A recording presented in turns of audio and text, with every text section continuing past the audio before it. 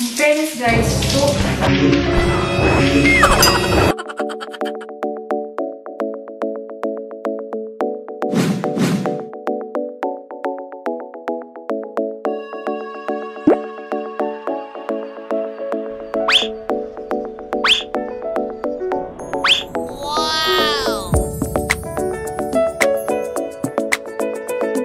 Hello guys! What's up? Ano gagawin natin yan? Ayun guys, share ko sa inyo itong ginawa kong treatment sa aking buhok. Actually, film ko to one month ago and ngayon lang ako sinipag gumawa ng intro, beji. Madali lang tong gawin and murang-mura lang yung mga ingredients na gagamitin natin. Ingredients talaga yun.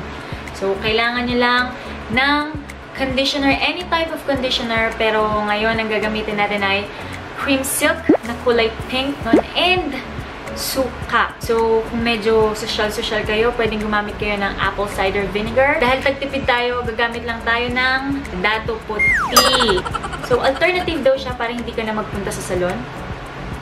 Very promising ang claims na ito, guys. So, tignan natin. So, kung gusto mong malaman kung ano ba talaga yung magiging effect nito sa aking buhok and yung final thoughts ko sa mixture na ito, samahan mo ko hanggang matapos ang video na to. So, yan guys ang gagamitin natin for my medium length hair. Gagamit ako ng dalawang sachet ng Silk Pink. And for this mixture, gagamit tayo ng 4 tablespoon ng vinegar. So, haluin mo lang ng mabuti, Beshi. Haluin ng haluin yan. Paikot-ikutin mo lang mabuti. Gaya ng pagpapaikot na ginawa sa'yo ng ex mo. Hmm, wag ganon. Ano daw? May hugot pa eh, no? Yun, tsaka naman this girl ay ng buhok pala. Bad hair days na ako dyan guys and gusto kong talaga magpunta dyan sa salon pero dahil di pa tayo nakakaipon, try ko muna tong treatment na to. So, isection lang natin yung ating buhok para as much as possible malagyan natin yung bawat strands. FYI lang pala guys, I have a naturally straight hair at rebanded din yung buhok ko if I'm not mistaken, magto 2 years na. And kita nyo naman sa intro pa lang, medyo tikwas-tikwas na yung ibang parts ng aking buhok. Yun, pinagtataksilan na ako, hindi na lahat sila'y bagsak. Kaya naman, tingnan natin kung anong magagawa nitong mixture na to dito sa mga pasaway kong buhok.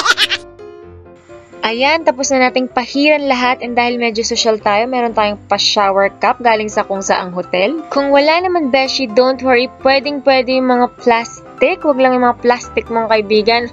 Oh, no, no, no, no. Joke lang po.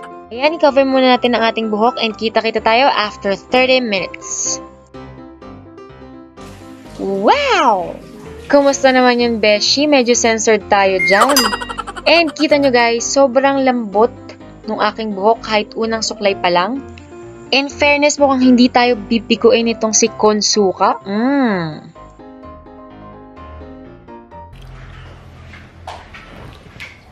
So, ayan guys. Papatayuin na natin yung ating buhok gamit yung electric fan. Pero kung meron kayong blower, pwede din naman. So yan guys, kitang-kita nyo naman kayang-kayang i-finger comb ang aking buhok. Yan, parang Liza Soberano lang. Finger comb. Tip ko pala guys, kapag ka magpapatuyo kayo ng buhok, huwag kayong gagamit ng mga towel na magagaspang dahil masisira yung mga first layer ng inyong buhok. At ito na nga guys, ang ating pinakaabangan.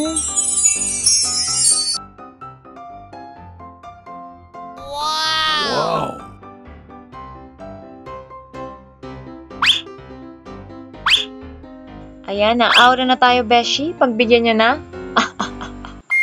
I want you to show me how to get to know someone like you, someone like you. I want you to know me, cause I know then you'll see.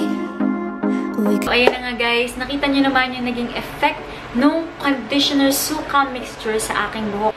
Talaga namang sobrang dulas nung buhok ko nung mga panahon yun nang ginamit ko yung konsuka. Actually, umabot yun ng mga hanggang 3 days to 1 week yung effect niya. Talagang kayang-kaya mong i-finger comb yung buhok mo. Kahit basa pa siya, di ba usually kapag basa yung buhok mo tapos hindi mo pa nasusuklay, ang hirap niyang suklayan syempre parang buhol-buhol siya. Struggle kapag ka sinusuklay siya.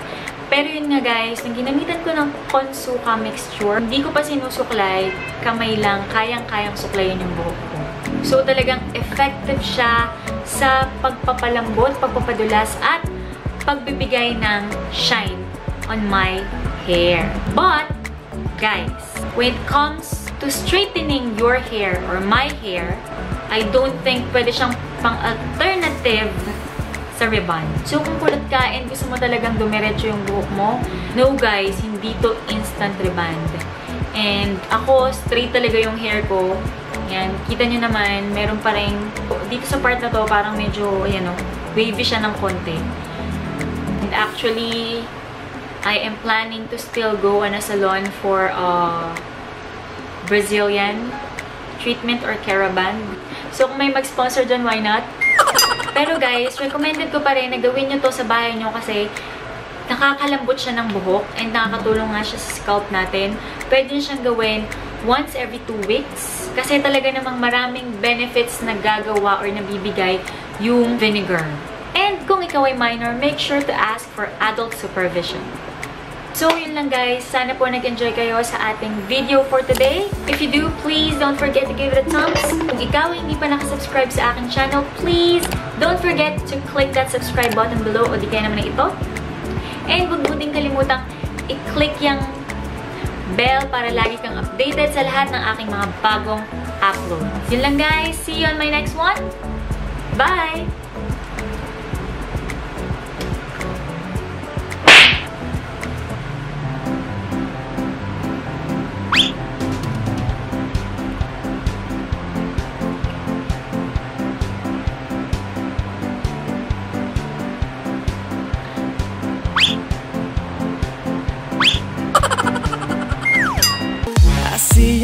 Up in the stars